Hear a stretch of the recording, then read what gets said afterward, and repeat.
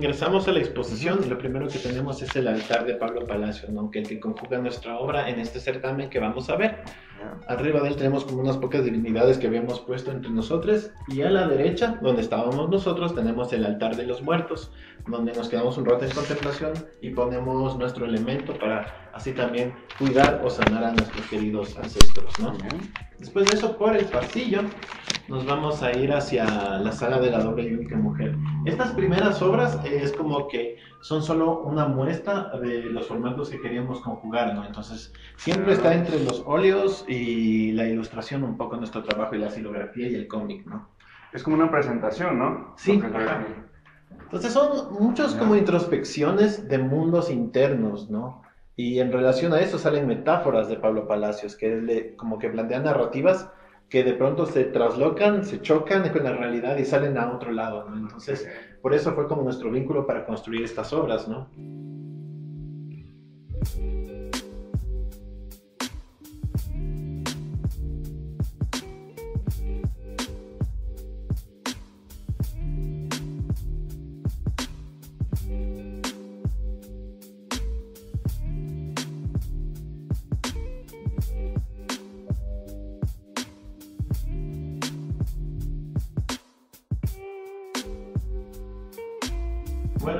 Lado tenemos como un poco más los, los cupos de la Juli y también algunos de los planteamientos de los cómics, ¿no?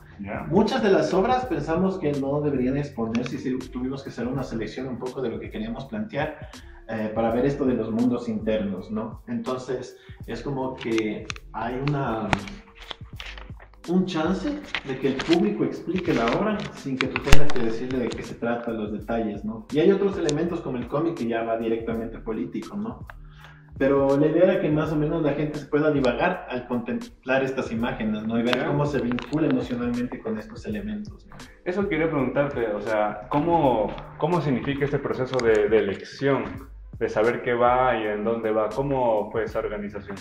Eh, creo que fue bastante orgánico con Juli, por suerte, porque esto de la curaduría es un peso, siempre es súper fuerte en construir una obra, en construir un espacio, en instalarlo y, y, jugar los elementos, pero como nosotros ya tenemos este bagaje de conocer nuestra producción artística, entonces sabíamos cómo tensionar un tema y después soltarlo hacia otro elemento, ¿no? Y eso es importante, ¿no? Conocer a los artistas que van a estar en tu, en tu espacio, para saber qué conceptos manejan, qué formas traen y cómo configurarlo y conectarlo con lo que presentas. Ah, totalmente, la, la, curaduría a veces no, no puede pecar de esas eh, roces primarios, ¿no? O sea, si en realidad te empapas de la obra del artista, creo que puedes ponerla y conjugarla con otros autores, ¿no? Como no somos nosotros, nos conocemos ya años de años, eh, tenemos una facilidad para hacerlo. Mira, datazo de la curaduría ecuatoriana. Sigamos. Chévere, entonces seguimos y por este lado de ya vamos a entrar al cuarto de la doble y única mujer.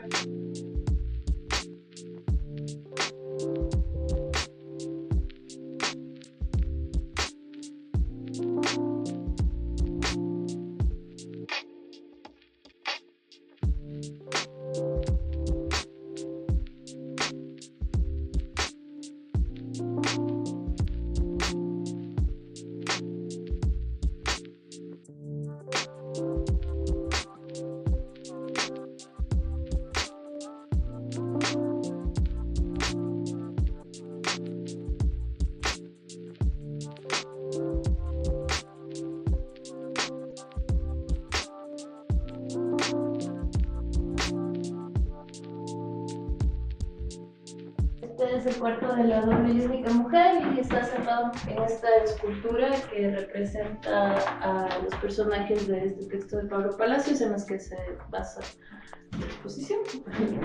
Tenemos aquí bastantes tintas que están jugando un poco con la idea de las ganas, que es algo que utiliza Pablo Palacios. Tiene cuentos en los que se refiere a Ana constantemente y se siente en la piel de ella, entonces habla de esta multiplicidad de las mujeres y de su forma de sentir, y esta es una interpretación a eso. También me parece importante decir que la curaduría fue bastante más de depurar obras porque tenemos bastantísima producción, entonces Supongo, sí. ahí sirvió bastante lo de Pablo Palacio para decir, a ver, ¿qué, qué es en verdad más cercano a este mundo de? Y también es interesante que tratamos de combinar las técnicas de catenías de aquí un poco como las tintas.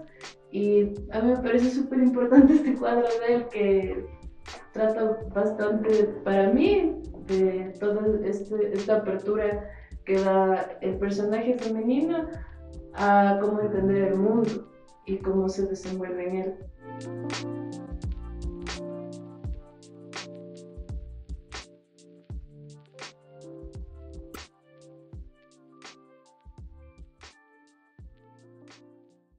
Y esta sería la parte donde tratamos de juntar más o menos nuestras técnicas de trabajo más específico. Como pueden ver aquí puse la silografía, que es muy fuerte, pero traje el mismo, la misma temática de las armas, un poco reducida en esta multiplicidad, y intenté mostrar este cuadro que para mí es muy importante, porque habla de no finalizar, he pintado murales y cosas mucho más grandes, pero me cambia mucho la emoción constantemente en este cuadro y fue como que dijimos ya escondámoslo porque lleva ahí un montón de tiempo y, y atravesado muchos espacios del cuadro, así pues, dónde lo sacó y cómo lo llevo.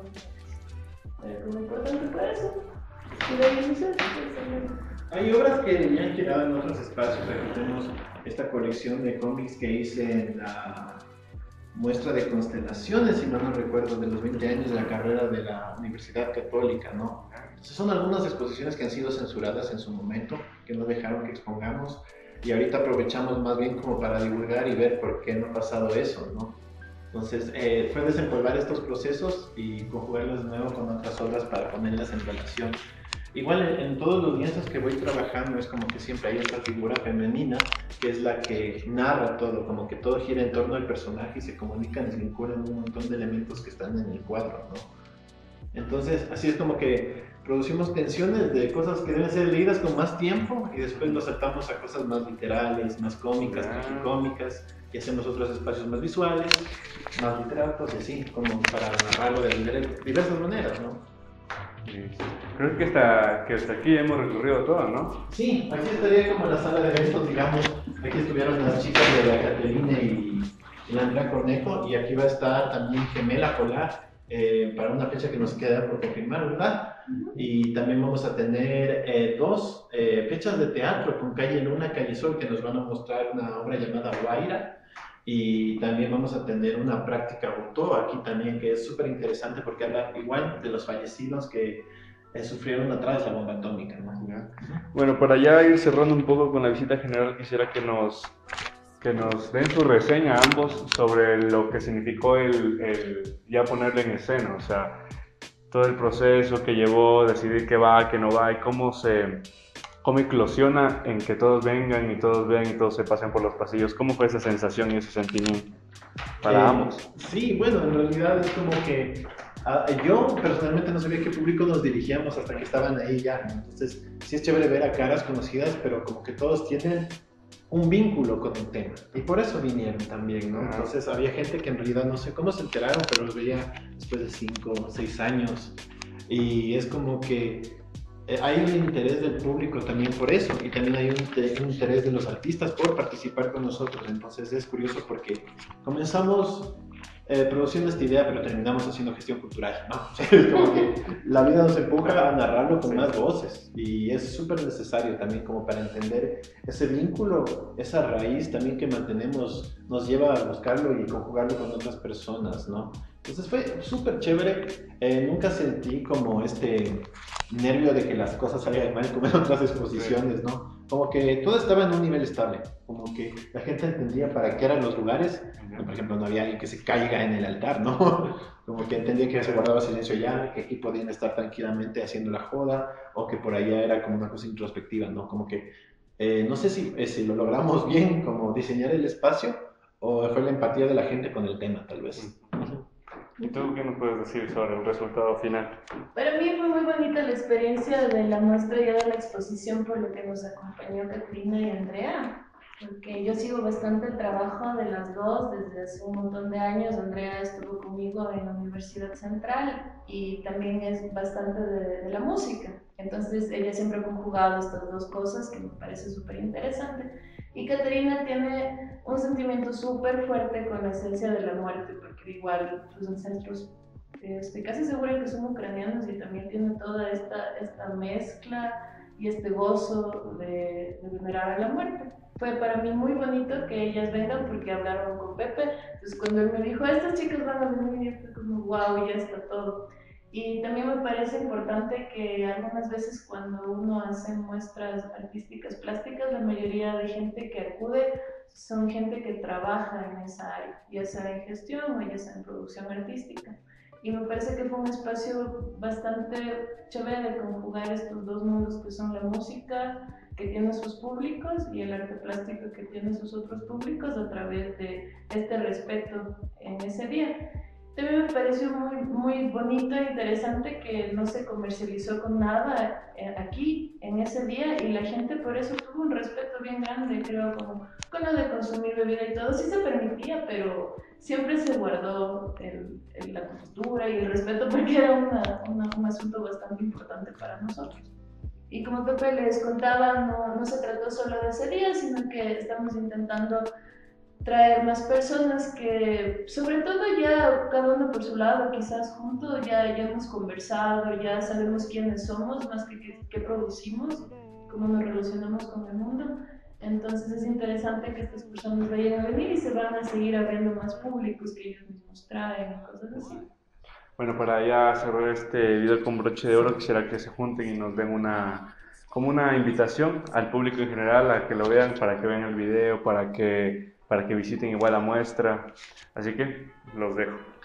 Eh, bueno, eh, ha sido un gusto hacerles este mini recorrido por la exposición. Creo que si van a venir vamos a tener mucho más tiempo para nutrirnos con algunas ideas que hemos trabajado desde otros aspectos, desde otras teorías también, ¿no? Podemos lanzamos ese diálogo después. Pero la idea es que vengan acá, ¿no? Que vean brujerías mientras están en exposición. Gracias a la cueva también. Muchas gracias por venir a hacer estas entrevistas. Es súper chévere para nosotros poder dialogar de lo que hemos construido y cuáles son nuestros sentidos que estamos haciendo, ¿no? Entonces, los vamos a esperar. Creemos que va a estar abierto casi hasta inicios de diciembre, ¿verdad? Hasta inicios de diciembre, de la primera semana que es la segunda presentación. Y de ahí hacemos la clausura con nuestros amigos. ¿Tú quieres decir algo, Juli? Sí, les quiero agradecer mucho por venir. Muchas gracias, chicos. Muchas gracias a la cueva. Les invito a todos a pasar por la exposición. Tenemos nuestra página de registro que seguro vamos a compartir en el link.